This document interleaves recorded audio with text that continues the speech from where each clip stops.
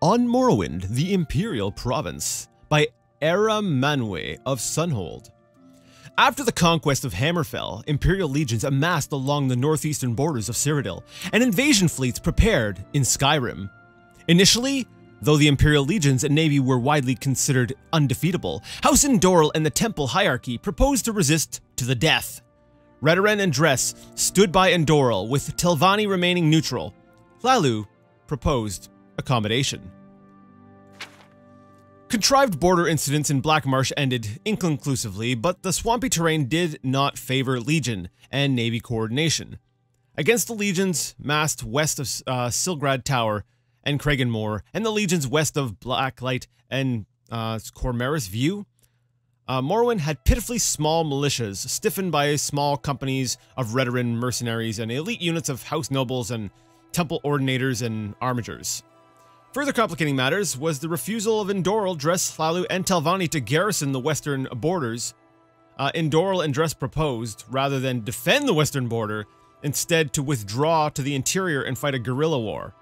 With Hlaalu advocating accommodation, and Telvanni remaining neutral, Redoran therefore faced the prospect of standing alone against the Empire. So this is a story, I guess, of the uh, the invasion uh, of, of, like the Empire taking control of Morrowind.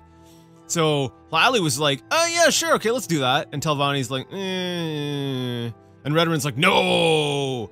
So you kind of have like the full spectrum there with the, the three great houses that we um, that we mostly interacted with uh, during our playthrough of, uh, of Morrowind. The situation changed radically when Vivec appeared in person in Vivec City to announce his negotiation of a treaty with uh, Emperor Tiber Septim, reorganizing Morrowind as a province of the Empire, but guaranteeing all rights of faith and self-government. Interesting. So, was Vivec not... Where was Vivec before this? Hmm. A shocked temple hierarchy, which apparently had not been consulted, greeted the announcement with awkward silence. Indoril swore they would resist to the death, with the loyal support of Dres while Redoran, grateful for a graceful excuse to avoid facing the legions unsupported, joined with Hlaalu in welcoming the agreement. Telvanni, seeing which way the wind blew, joined with Hlaalu and Redoran in supporting the treaty. Nothing is known of the circumstances of the personal meeting between Septim and Vivec, or where it took place, or the preliminaries which must have preceded the treaty. The public reason was to protect the identities of the agents involved. In the West, speculation ha has centered around the role of Zurin uh, Arctus in brokering the agreement. In the east, rumors suggest that Vivec offered Numidium to aid in the conquest of the Altmer and Summerset Isle, in return for significant concessions to preserve self-rule, house traditions, and religious practices in Morrowind.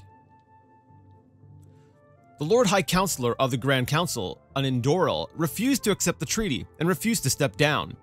He was assassinated and replaced by Hlaalu, House Hlaalu took the opportunity to settle some old scores with House Indoril, and a number of local councils changed hands in bloody coups.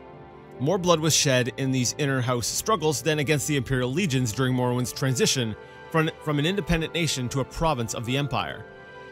The generals of the legions had dreaded an invasion of Morrowind. The Dunmer were widely regarded as the most dreadful and fanatic foes, further inspired by their temple and clan traditions. Interesting. Like if I, if I, if I had to think of the uh, the different elves uh, that I would be most hesitant to want to um, face, it would actually not be the dark elves. Uh, I would think you know Bosmer um, just because of the, the, the terrain. I would think uh, waging like uh, a war in uh, Valenwood would be absolutely horrendous and brutal. I, I would say similar to Black Marsh, right? Um, and, and I guess Summerset Isle, they're, they're very magic-y, but other than that, I mean, everyone kind of has magic. So yeah, I, I, would actually say the Wood Elves would actually be my, my um, the, the biggest, the, the one that would scare me the most. Um, the generals had not grasped the political weaknesses of Morrowind, which Emperor Ty uh, Tiber Septim recognized and exploited. At the same time, given the tragic depopulation and destruction experienced by the other provinces, co uh, conquered by Septim, and the swift and efficient assimilation of Morrowind into the Imperial legal systems and economy, with, relative, with relatively small impact on lower or upper classes of Morrowind's citizens, the tribunal also deserves some credit for recognizing the hopelessness of Morrowind's defense and the chance of gaining important concessions at the treaty table by being the first to offer peace.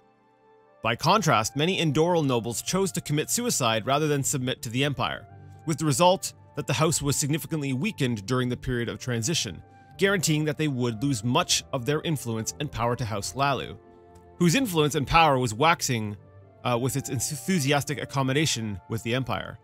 This is actually a lot more interesting than I thought it was going to be at first. Uh, the Temple hierarchy more skillful, more skillfully managed their loss uh, of face, remaining aloof from political struggles and earning the goodwill of the people by concentrating on their economic, educational, and spiritual warfare. And that looks like that's it. So that has been on Morrowind, the Imperial Province, from within Oblivion. Uh, that actually was a uh, a pretty cool read, uh, and uh, you know I, I guess officially this is the first uh, the first book in the Oblivion uh, book club. So um, yeah, enjoy that.